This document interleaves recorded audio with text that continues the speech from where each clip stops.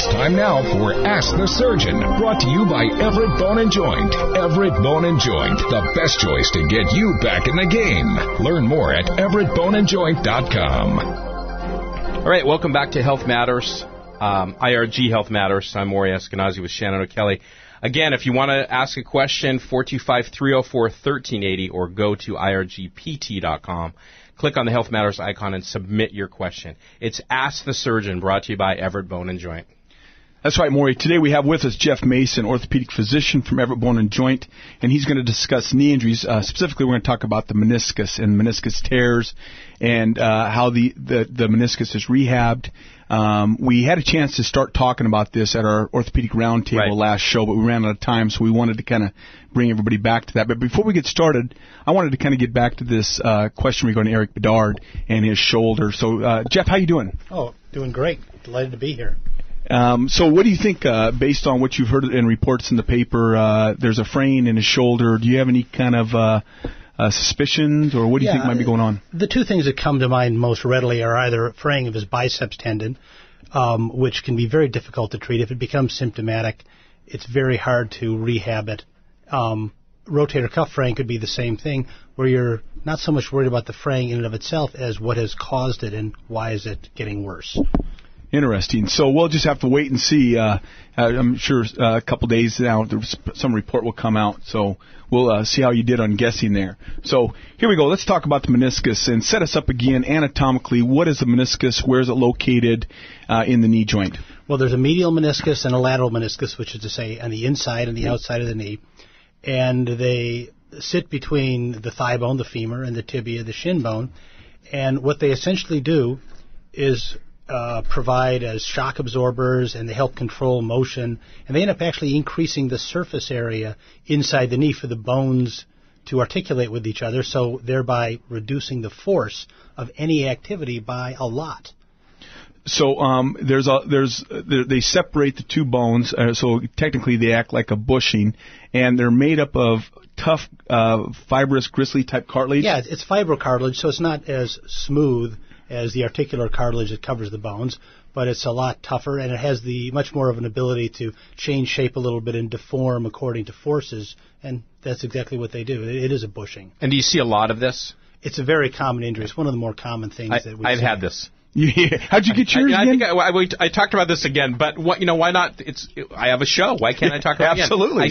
I was on a treadmill, and I stumbled on it, and I Were you on, was the treadmill on an incline? um probably not knowing me. No, it wasn't. I think what I did, it, I dropped my ashtray, and no, I'm just kidding. I'm kidding. I, I think I was light jogging on the treadmill, and I stumbled, and I kind of I felt it, and like.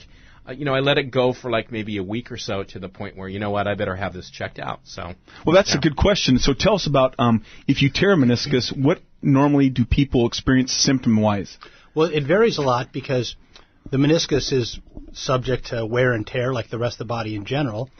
And so if you tear your meniscus and you're young and athletic, you'll remember some event, you know, you your knee was uh, flexed and was twisted by some impact or the like. The older and more worn it gets, you can have some episode occur that in and of itself seems trivial, where people say, I just twisted a little bit, or I got out of a chair, and they start getting some pain in the knee.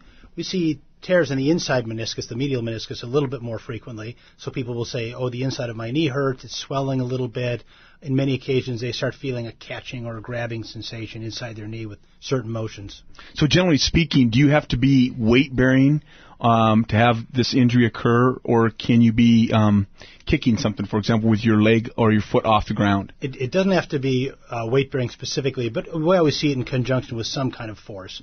So the foot is planted, and there's some kind of uh, force or rotation Yeah, on the knee joint, and it picks that meniscus up and irritates it and tears it.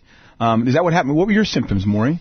um, pain, and um, that actually, you know, I think it kind of twisted a different way, and it was just like it was pain right on the inside of my knee, like at the top, almost by the uh, by the uh, kneecap, like to the right to the little, like kind of the left of it of the kneecap. Interesting. So, um, It was constant pain. Don't, don't a lot of people, what I've experienced in physical therapy, when you see these people before they're diagnosed, it seems like they have difficulty weight bearing and twisting, and they have a sensation of buckling or locking in their knee. Yeah, the buckling is caused by the uh, quadriceps muscle reacting to the pain, where all of a sudden it doesn't want to function right because it's getting a reflex signal from the knees, essentially saying, "Don't do this." Um, they can be any anywhere from modestly to extremely painful. You know, that's an interesting concept that people need to understand is when the joint is painful, the joint talks to the muscles around it, and the knee joint being good neighbors basically with the quadricep muscles. If there's pain in the joint, will tell the quads not to fire, so you get this. That's where the buckling comes from. Yes, you can have uh, instability without any of the normal stabilizing structures really being damaged, just because if the knee is irritated, it will behave that way. And th- and this is something that just it won't go away with ice and ibuprofen too. I mean, you have to go check it out. Or is there is there ever an instance where you wouldn't do arthroscopic surgery? There are some because like the meniscus is a complicated uh, shape, and so there can be small tears. There are probably tears that are asymptomatic. So occasionally you'll get someone who has a tiny little tear that will subside within a few weeks, and the symptoms will go away, and they may stay gone or they may appear when the tear gets larger in three months or nine months. But by the time they come and talk to us, they usually have something that you know need, needs some kind of intervention. So, what are the treatment options out there today for a meniscus tear? Well, um, in people who come and see us and have enough symptoms, we perform an arthroscopic surgery. We repair when we can, but the vast majority of them are partial meniscectomies or we excise the unstable element. I want to talk about that. So, I mean, I want to uh, uh, let everybody know what the difference is out there. So, when you just talk about a, a meniscectomy versus a meniscus repair, these are two different procedures. And tell me about the meniscectomy and why you decide to do a meniscectomy. You do meniscectomies most often because the greater major- the great majority of the meniscus will not heal if repaired. It's not vascular tissue. It has no so it doesn't have a blood supply. no it. effective blood supply. So if you were to place sutures in it, eventually they would wear out, and you'd be you'd have your tear would, would be there again. So if tissue does not have a blood supply, it does not heal. Correct. So your best option is to remove it. Yeah, you take out the part that's causing the symptoms. Okay, then what about this repair that you talked about? Yeah, if you have a, a tear of the meniscus that's out near the periphery of the joint where there is a blood supply, it may be repairable. And we have all these different techniques and devices, and, and repairs are technically much more difficult, and the, and the downtime is much greater. We typically people keep people non-weight bearing, um, keep them from bending the knee through a normal range of motion for four to six or even eight weeks, depending on the size of the tear, and that's when we have to rehab them. So if you remove the meniscus, which you call meniscectomy, what's the recovery time on something like that?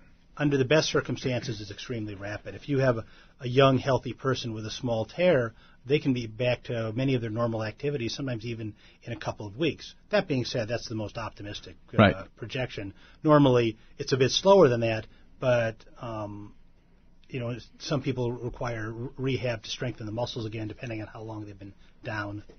So these these are the folks that are having um, what, what is called ambulatory surgery today. They show up at your office. You have a surgery center. They check in. This procedure takes this uh, how long? Well, to put it this way, I tell them that pre- preparing the patient for the surgery, getting the block established, getting them into the room, getting all the prepping and draping, and all of that, all of that plus getting them out takes longer than the operation. You know, we make a couple small incisions. Right. Um, you know, and you're in and out in sometimes under 15 minutes for the surgical part itself.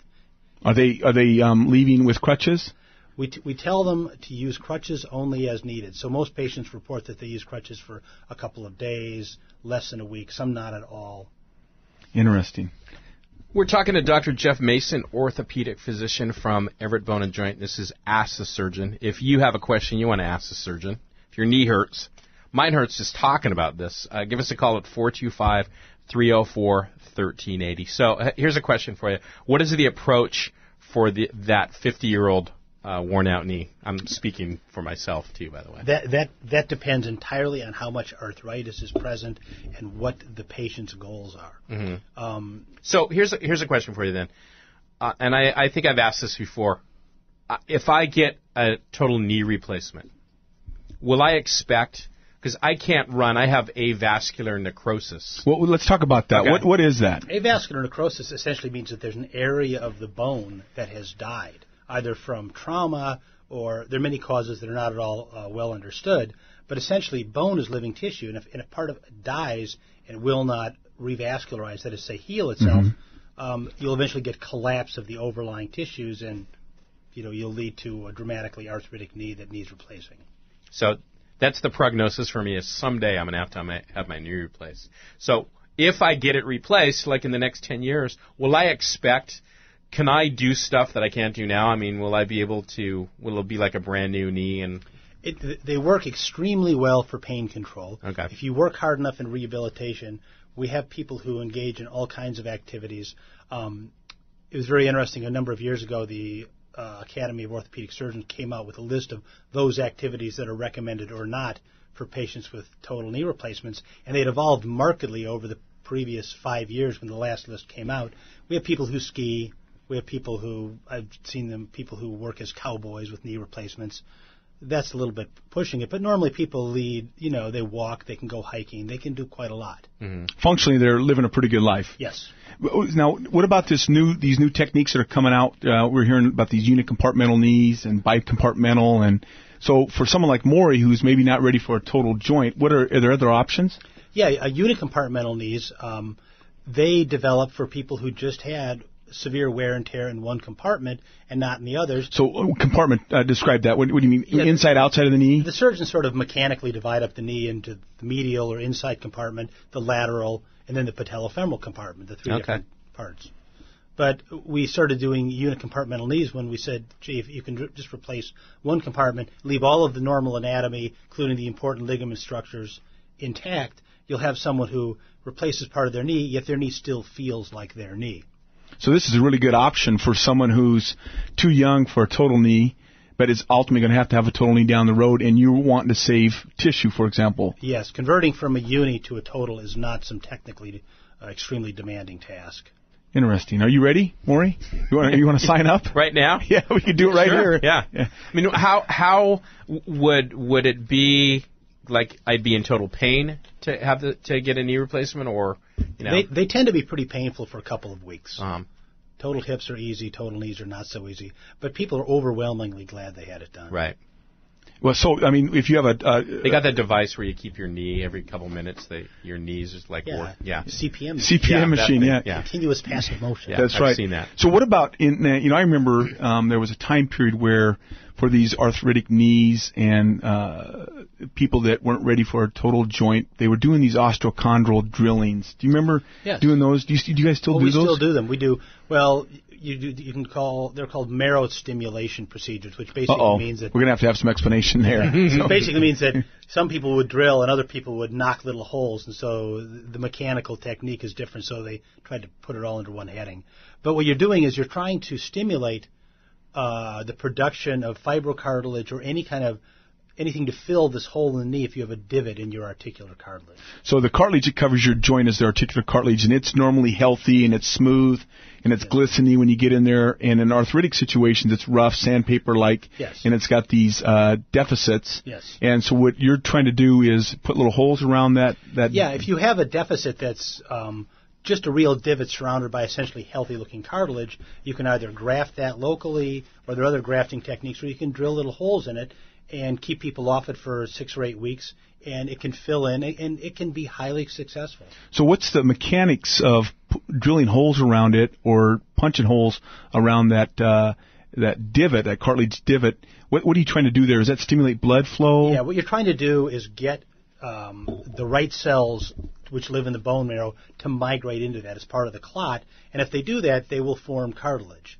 This is what they call microfracture surgery that you know various NBA players. And Greg Oden had down. In oh yeah, yeah, and Amar'e Stoudemire had it done, and it, it worked extremely well on his knee. And Greg Oden looks like he's getting around okay. He had it on his. Did he have it on his knee or his foot? He had it in his knee. Oh, okay. Do you see it besides the knee? Is there any other places where this occurs? We we we use it almost exclusively in the knee and in the ankle. And in the ankle joint, it's often remarkably successful. For you know, I I've seen lesions that I've treated, or Dr. Barker, for example, has treated, that just fill in remarkably well. It's better in the better in the ankle, maybe even than the knee. Wow, so there's options out there. That's so fascinating. Interesting. Stuff. So they used to do this. Um, what what was called an OATS procedure. I mean, where they actually explain that. Are they still doing those? You're just going through the book tonight, aren't you? Well, it's interesting because it's that 50 year old knee. I'm trying to give yeah, you some options here. Maury. Yeah, thanks. Yeah, absolutely. We're still doing them, and they can be highly successful the limit to an OATS procedure is you need to have a small enough injury that you have places in your knee where there's extra cartilage. You need to have enough extra cartilage to fill the hole. You can use you can use grafts from you know donors, and um, you know, there are other techniques, but the OATS works very well. Too. Will, will I get a discount if I just call it Everett Bone and Joint? So, yeah, I'd like an OATS procedure please, if I kind of know what I'm talking about. I think they have a blue light special on Tuesdays or something. So. Dr. Mason, as always, every doctor at Everett Bone and Joint, you've been fantastic. We can talk for hours. Uh, we'll have you next time we do another roundtable. We'll have you in. It's been it was great having you. If uh, and if you want more information on uh, Dr. Mason.